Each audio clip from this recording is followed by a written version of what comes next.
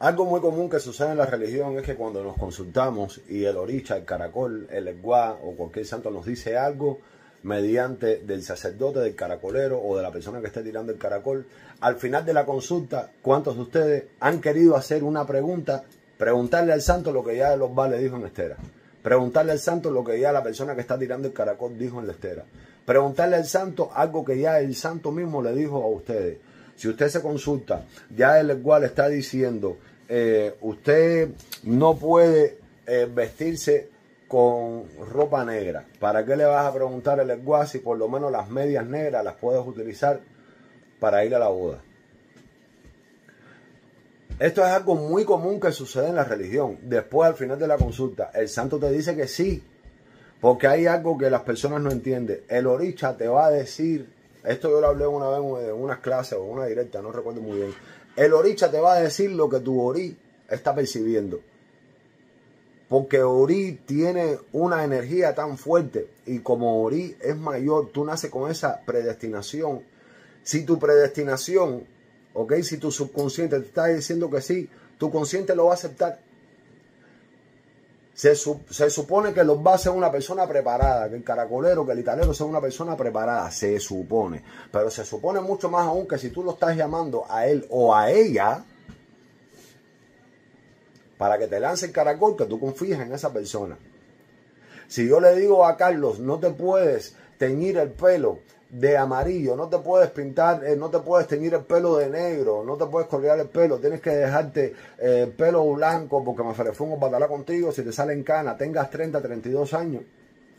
¿Para qué tú te vas a consultar después de aquí a 3 años, suponiendo que sea un mitad, porque tienes una boda a unos 15 y preguntarle al santo si usted se puede eh, teñir el pelo. Y esto sucede mucho en la religión. Por eso es que hay muchas personas que se decepcionan. ¿Pero por qué? Porque los va lo permiten. Esto es culpa de los va. Esto es culpa del que tira el caracol. Esto es culpa del babalao. Porque esto sucede mucho también eh, en consulta con Orula. Mediante de la consulta, el Odun habla algo, el signo habla algo. ¿Ok? y uno le está diciendo a la persona, esto no lo debe hacer por esto, por esto, por esto, por esto, y al final de la consulta tiene alguna pregunta, la, persona se le olvida todo lo que uno le dijo. Ay, yo quiero preguntar si esto, pero ya yo le acabo de decir que, esto no lo puede hacer, señora, o que esto sí lo puede hacer. Tanto positivo o tanto la respuesta sea positiva o negativa. Hay veces que la persona se quiere consultar porque no quiere aceptar una situación que está teniendo en su vida y el cual está diciendo, esta es la situación que usted está pasando por esto, por esto, por esto. Y esto es lo que usted tiene que hacer. Esto es lo que usted, se tiene que quedar a vivir, eh, a, vivir en esta casa. Pero la persona se quiere mudar ya porque ya hizo los papeles, ya hizo el contrato, ya está firmando ya porque consiguió una casa nueva y, no, y no le preguntó al santo antes de ello. Entonces ya, quiere cuadrar con el santo. Entonces, ¿cuál es el peor error que existe en la religión?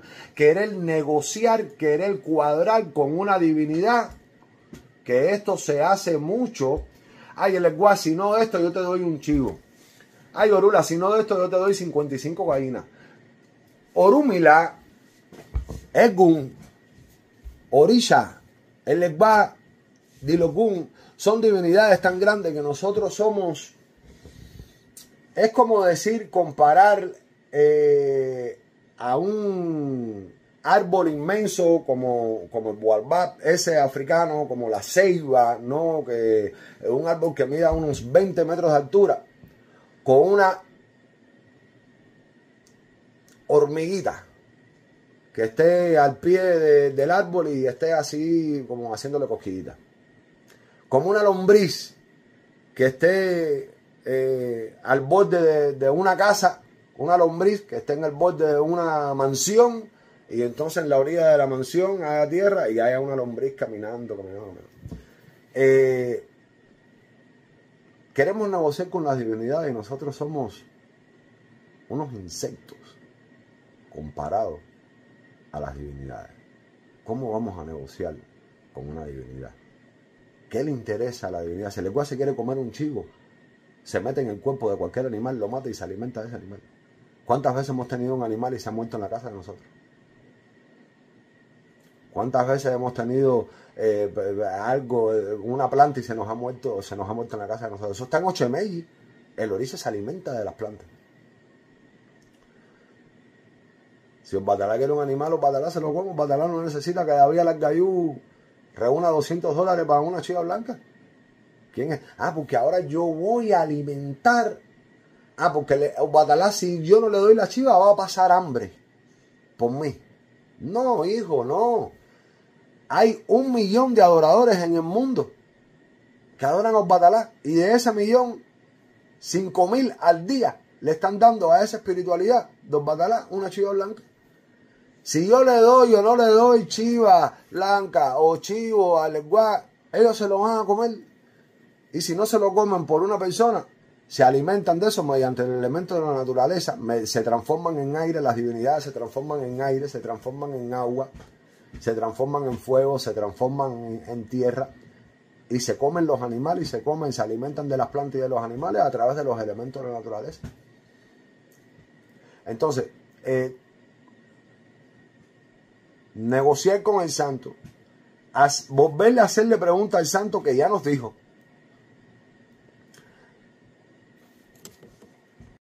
Esto suele suceder mucho. En los claves efectivos, los mates efectivos del italero, del caracolero, de la caracolera, de la italera, de los bauriates que lanza el caracol.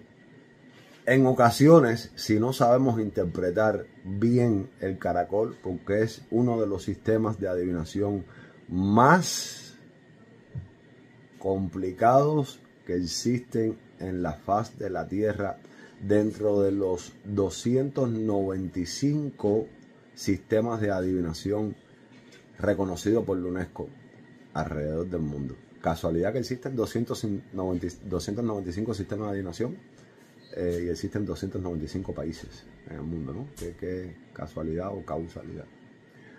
Ah, hay muchísimos más sistemas de adivinación, pero reconocidos como tal, 295. Entonces, caracol, dentro vamos a decirle que dentro de los trucos, dentro de los trucos eh, y, cositas que usaban los viejos para interpretar el caracol, es muy, es muy común que esto suceda de que tú le preguntes, es muy común que esto suceda que tú le preguntes algo al santo mediante el caracol, no estamos hablando del coco. Y a veces les mienten mediante el coco porque no saben interpretar el coco.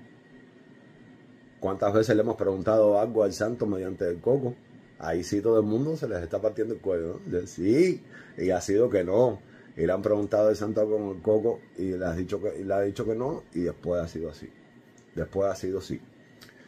Bueno, de esto también pues, el coco se tiene que moyubar, el coco se tiene que rezar, el coco se tiene que interpretar, el coco se tiene, lleva su proceso. Y el caracol no deja de ser eh, una excepción. ¿Por qué hago la salvedad? Bueno, eh, la clase de hoy de aquí en la Escuela de Caracol de claves efectivas del italero en Estera. Esto sucede a diario. A mí me ha sucedido. Yo le he preguntado algo al Caracol, ya sea como consultante o yo como consultado, y el Caracol me ha dicho que no. Y esto no deja de suceder con IFA. En IFA lo vemos a diario. Con el ECO le sucede mucho. Con el IKIN sucede mucho. Ahora, ¿qué significa esto? Que el caracol sea un mentiroso, que el coco diga mentira, que el iquín diga mentira y que el eco le diga mentira o el ópele. No. El problema es que nos vamos a pasar toda una vida estudiando a profundidad estos sistemas de adivinación y tenemos que nacer, si tenemos que nacer tres veces para entender el coco el Opel el Linkin tenemos que nacer 10 para poder entender completamente a profundidad el caracol. A ver, hay muchas formas de cómo interpretar el caracol que no están en el libro. En mi libro, el Tratado Enciclopédico de Dilokun, yo hablo de esto un poquito, pero más adelante yo escribiré un libro acerca de los mates efectivos de cómo interpretar el caracol hay 21 formas de cómo interpretar el caracol. No estamos hablando de interpretar el signo. No, el signo se interpreta mediante el conocimiento que usted tenga de los, mediante la experiencia y los sucesos de la vida que usted tenga del mismo y mediante un espíritu que lo guía a usted en base al consejo que usted tenga que aplicar a la persona adecuada e indicada, depende de su género, su clase social eh, y sociocultural y socioétnico.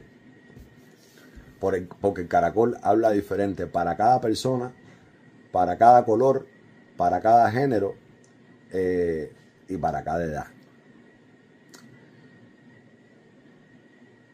Sabemos que aquí entre los viejos hay varios viejos. Cuando digo viejos, bueno, con mucho cariño. Cuando digo viejos me refiero a mayores.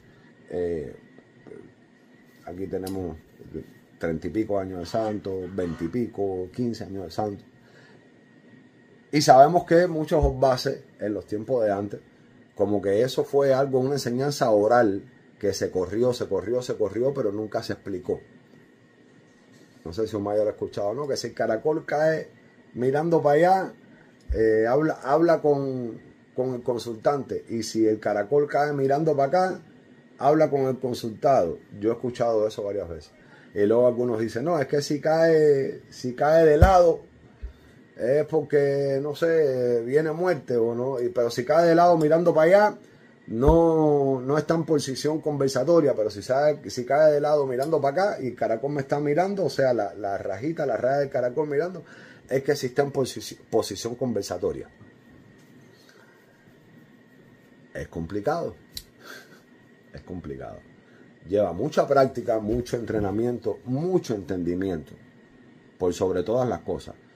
Más importante que la práctica, más importante que el entrenamiento, más importante, eh, bueno, de ahí el conocimiento es esencial, es la raíz.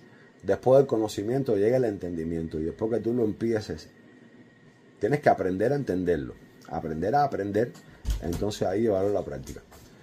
Eh, sí ha sucedido en muchas ocasiones el caracol, eh, el guá, esto, esto dice que sí, esto es cierto, el guá, el caracol, tú interpretas que te dice que no, o el guá, esto es que no, y después resulta que sí. Y esto se refiere a base de la interpretación de la persona, no a la credibilidad que tenga el sistema adivinatorio del Bilokun. Ahora,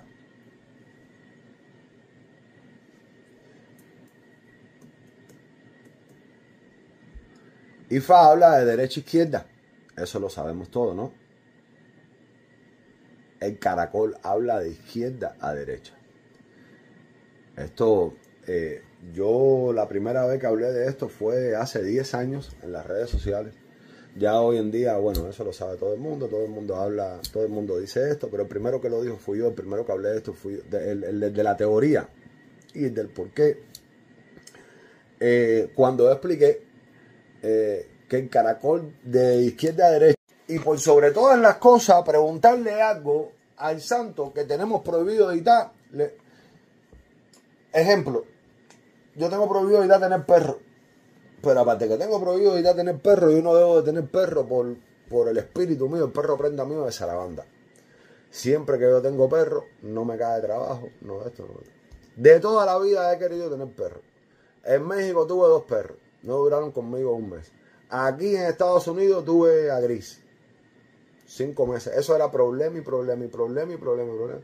Entrenador. Me gasté 12 mil dólares en Gris. Entrenador. Eh, eh, de, eso de cuello, de, de electricidad, de pincho, eh, no, el gris no entendía con pincho, no entendía con electricidad. Me comió una ceiba que tenía de, siete pies de altura, las espinas las masticó con cuatro meses de edad. Un perro que ya pesaba 60 libras, cuatro meses. Los cano corso son los perros que más fuerza tienen en la mandíbula. Los pitbull tienen 500 libras en la mandíbula, los cano corso tienen 700. El único que tiene más fuerza que del cane corso es el, el cangará, no sé, es un perro europeo de esos, ruso entonces, es, un, es un, ya lo tuve que regalar, es una locura. Hasta que Hueso bajó y le dijo a Reina, él sabe que él no puede tener perro, que cada vez que él tiene perro se queda sin trabajo, se queda sin dinero, no lo llama nadie porque es esa la banda. Porque perro,